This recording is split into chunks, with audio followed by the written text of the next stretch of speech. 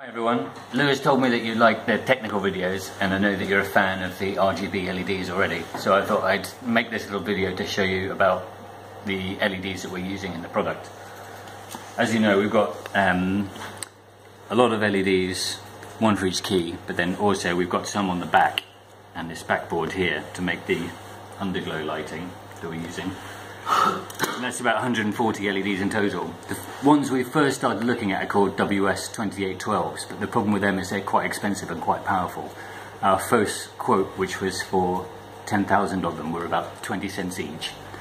So that means if we are using 140 in a keyboard, we'll be spending $25 just on LEDs.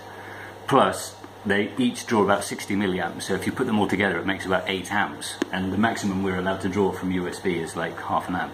So they'd be way too powerful, they're way too expensive. So what we're going to do, we're going to use individual RGB LEDs, draw much less current, and they're more like 4 or 5 cents um, for each one. But then we have to um, control them with a special controller which gets very complicated. But luckily, we're using this um, controller by Sonix um, that can take a matrix of LEDs like this and then control them all for us. So I've got that on a little breakout board down here.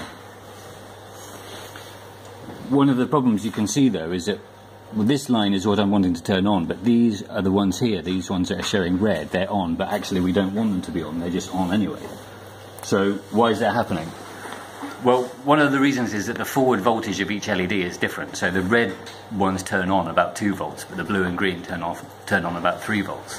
And with this complicated wiring here, that if you want to turn on the red one, this line here's got to go high, this one here's got to go low. But because this line here is high, these ones will also be trying to be on. So the driver has to keep these two lines high as well. But depending on how high the voltage is, depends on whether the LED is off or maybe it's on a little bit. So what I did was I wired up um, these four little wires here and I've connected them to the scope so you can see over here on the scope the four different voltages. So this is what it's looking like. When this is the common anode, so when this one's going high, it's trying to switch on an LED, maybe not the one it's connected to, but another one. But because it's trying to keep this one off, it has to make a positive voltage on the red, the green and the blue lines. So if we zoom in a bit further, and I increase these, uh, the blue one, the red one, and line them on top of each other. The difference here that I'm measuring with the cursors is at the moment about 1.8 volts, which is just enough to turn the LED on. So how do we fix that? Well, the Sonix um, datasheet is really good, and they've got um, a cool feature called VAF, which stands for um, forward, anti-forward voltaging.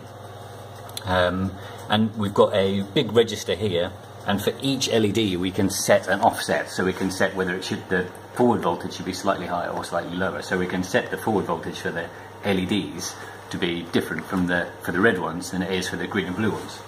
So if I um, flash the new firmware with the anti-forward voltage. You take a look down here now. This one that was on, we had a few on before, this one's off now. And if we come back to the scope, you can see the, the, the line for the red has increased, so the difference between them, which is the important part, if I just uh, do that there, now it's 1.48 volts, which is not enough to turn on the red LED because the red LED needs more like about 1.8 to 2 volts to turn on. So the good news is that by working out where all the, the red LEDs in our matrix, which we know from the circuit diagram, we can program the forward voltage register and make sure that all the LEDs stay off that are meant to be off. So um, I think that's the last thing I wanted to say. Um, see you next time. Thanks for watching.